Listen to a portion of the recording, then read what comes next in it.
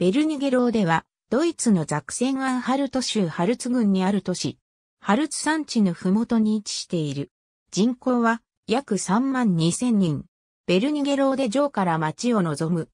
後方は、ブロッケン山東ドイツ期には、マクデブルク県に属していたが、1990年のドイツ再統一後、新設のザクセンアンハルト州の一都市となった。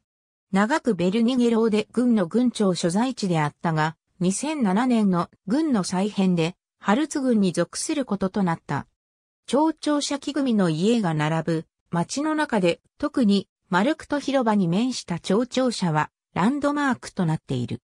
日本の戦闘を持つ庁舎が最初に建築されたのは1492から1497年だが1543年に火災によって消失し、その後建て直されたものが現存する庁舎である。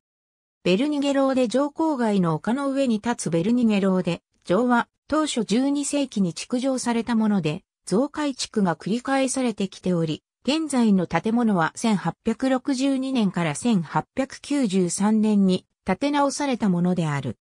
また、ハルツ京気鉄道の駅が DB のベルニゲローデ駅に隣接しており、ブロッケン山への蒸気機関車による登山鉄道として国内外から多くの観光客を集める。ありがとうございます。